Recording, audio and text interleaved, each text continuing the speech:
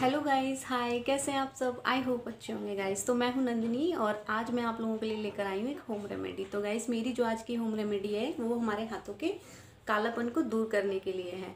आप फेस देख लीजिए और हाथ देख लीजिए तो हमारे हाथ बहुत ज़्यादा काले नज़र आने लगते हैं. तो फेस के साथ साथ हमें अपने हाथों का भी ख्याल रखने की बहुत ज़्यादा ज़रूरत है.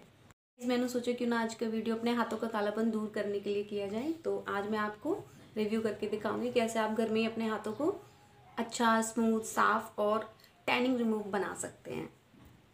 तो गाइज़ ये मैंने ले लिया है एक चम्मच बेसन और आधी चम्मच हल्दी है और ये कच्चा दूध है विटामिन के दो कैप्सूल और आधा नींबू। अब इन तीनों ही चीज़ों को, तीनों चारों चीज़ों को हम लोग मिक्स कर लेंगे। तो गैस चलो शुरू करते हैं। गैस ये मैंने ले लिया है, जैसे कि मैंने आपको दिखा दिया है बेसन और हल्दी।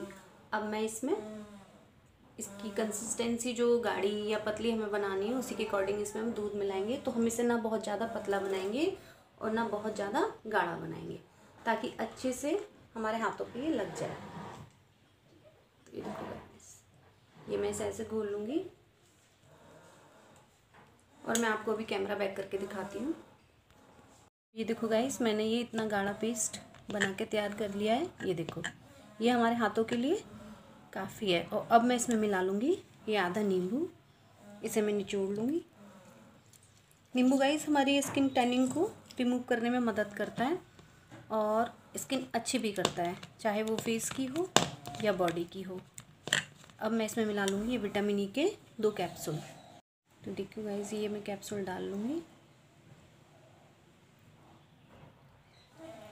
इस तरीके से अच्छे से निचोड़ लूँगी इनको।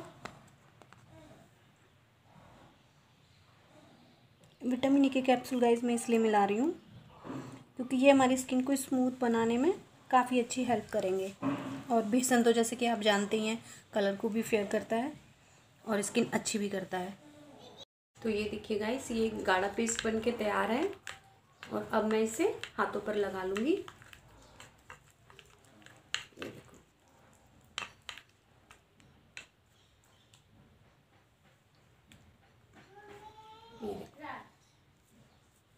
इस तरीके से। आप चाहें तो हाथों से भी लगा सकते हैं। मैं ब्रश से इसलिए बता रही हूँ ताकि आपको समझ में आ जाए। ये देखो, इस पैक को हम इस तरीके से लगा लेंगे पूरे हाथ पर।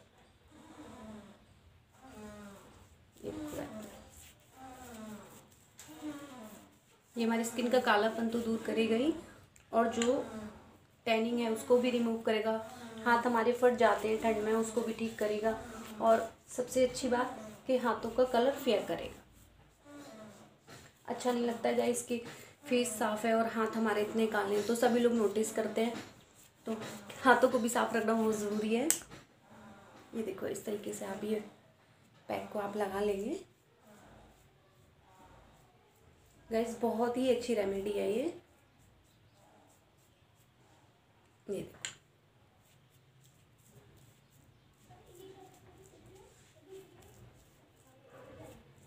देखो इस तरीके से। और ये हमारी कोनी जो है, काली हो जाती है, यहाँ पर हम थोड़ा ज़्यादा सा प्रोडक्ट लगा लेंगे इस तरीके से। अपने बेसन को इस तरीके से लगा लेंगे।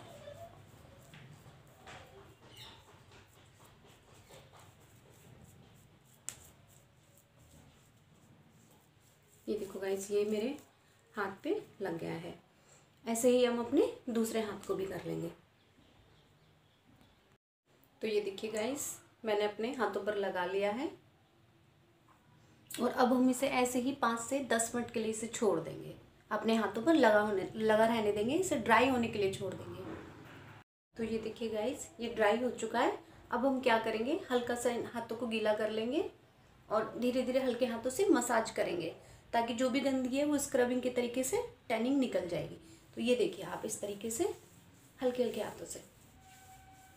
ये कम से कम पाँच से दस मिनट आप मसाज करेंगे और फिर इन्हें गुनगुने पानी से हाथों को क्लीन कर देंगे। ये देखो, ये इस तरीके से। कोहनी की मसाज आप ऐसे करेंगे। ये देखो गाइस मैंने मसाज कंप्लीट कर लिया और अब मैं अपने हाथों को गुनगुने पानी से क्लीन कर दूँगी। ये इस तरीके से ये देखो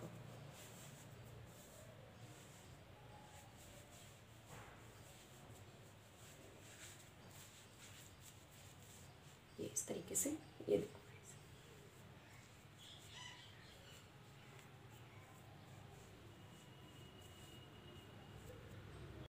तो ये देखिए गाइस मेरे हाथ पहले से कितने स्मूथ शाइन और कालापन जो हो रहा था वो भी काफ़ी रिमूव हो गया है। कितने अच्छे साफ़ नज़र आ रहे हैं। ये देखो। मैंने यहाँ कोई एडिटिंग नहीं की है गाइस आप खुद ही देख लीजिए। ये देखो। काफ़ी स्मूथ और शाइनी नज़र आ रहे हैं। कोई भी होम रेमेडी हो गाइज़ आप उसको हफ़्ते में दो से तीन बार करें। आपको रिज़ल्ट अपने आप दिखाई दे जाएँगे पंद्रह दिन के अंदर। तो गाइज़ आपको मेरी ये रेमेडी कैसी लगी, आप मुझे कमेंट में ज़रूर बताएँ और मेरी वीडियो को लाइक करें सब्सक्राइब करें और शेयर करना बिल्कुल भी ना भूलें गाइज़ तो बाय गाइज़ टेक केयर